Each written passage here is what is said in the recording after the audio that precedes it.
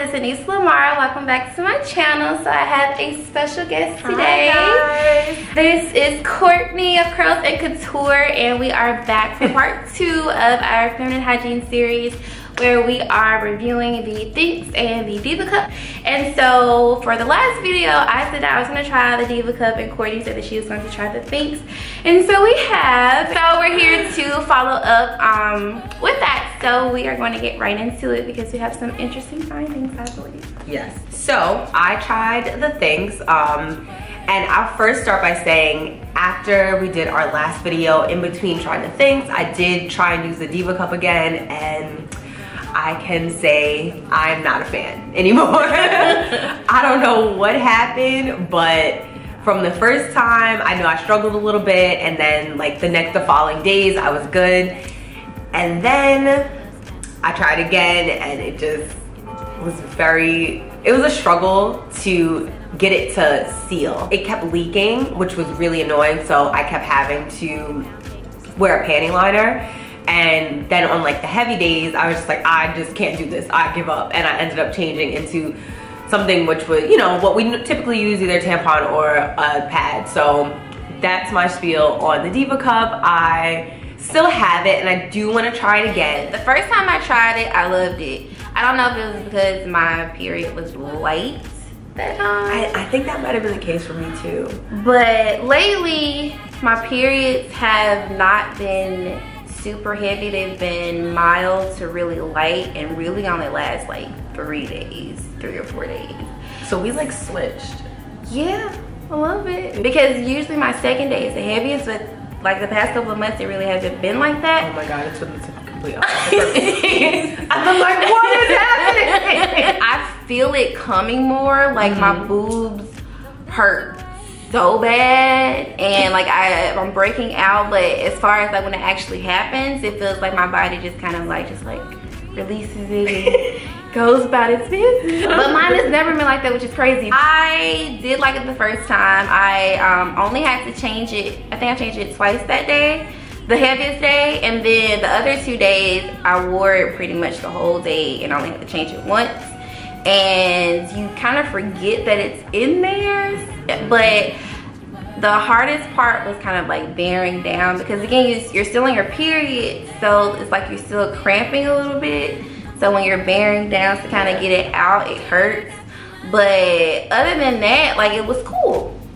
But then the next month it just wasn't cool. I think i fell asleep in it and then I was rudely awakened when I felt something warm and I was like, and then I had to scurry to the bathroom. And I was like, what is going on? so I took it out, cleaned it, and then I put it back in, which is a headache because it's it's really, really difficult to put it back in. I got the Athena cup, which is, I, I just got it off from Amazon. It was like two for $14. Comes in a cute little package like this too um, and it's pink, but it's pretty much the same size as the Diva Cup, but they're both hard as crap to put in. Like, I tried the method, the fold over, mm -hmm. and then the like the U part thingy. U part?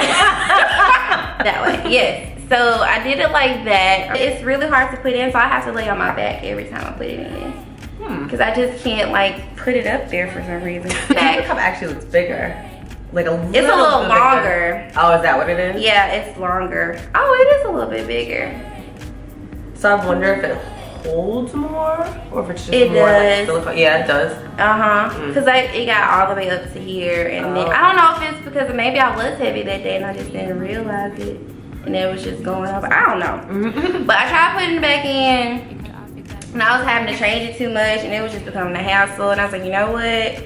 I just don't have time for this. So I just put on my pad and a tampon and called it a day. Cause I couldn't find my Thinx. Like I don't know, I don't know where my Thinx is. I don't know how you lose the Thinx. I don't know how that happens. As you were talking about it, I was like, you know what?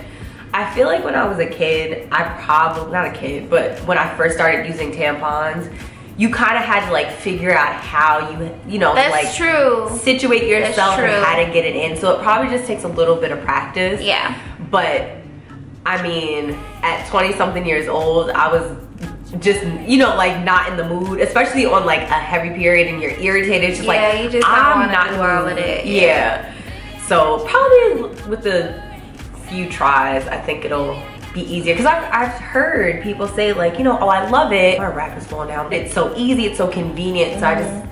I think i maybe got irritated the second go around Probably. And I'm super impatient, so I know I did. oh so. yeah i'm very impatient Yeah. I, I just think we didn't give it my a panties on and with the little things to call it a day. How did you feel sleeping in it? Because I didn't, I haven't slept sleeping in- in the the, Diva things. Cup. Oh, the, the Diva Cup. Sleeping in things was fine. I was like, oh yeah. I Uh, love these things. They're so convenient. I felt good. Um, Yeah. I still did wear a pad because Okay, just I feel like it's like wearing a tampon. Once it's in there, you really Yeah, don't feel, feel it. it, yeah. You feel it less than you would a tampon because it's like up there. And there's no string, so you don't, you can't tell that it's there. So I did like that about it. So I think I'm gonna keep trying to and see if it works. Yeah, that's definitely true. I didn't feel like, like you're right. I just, I didn't feel it. Yeah, you So don't feel anything. Once, I don't know. I'll try it again. Even when Next you're walking, I, and I think that's probably how you know you have it in right. If you walking and you don't feel it, you have it in right. And you literally like you have to go inside of yourself to make it like they, they, they say not to use like the stem i use the stem because i wasn't trying to like play gynecologist but i you know you do have to like and, and with my nails and you do have to go inside and twist it and lock it and i think that was the issue i just again i just didn't have the patience i'm like i'm not doing this oh, So that's our experience with the Thinx and Diva Cup. Let us know if you guys have tried the Thinx or the Diva Cup. We would love to know your experience and maybe y'all can give us some tips Some on how to seriously. use it because, you know, I don't know. So I hope you guys enjoyed this video. Don't forget to please rate, comment, and subscribe. Make sure you follow Courtney and subscribe to her channel and all of her social media networks. I'll have all of that listed in the description box below. So next time, see you guys later. Bye. Bye.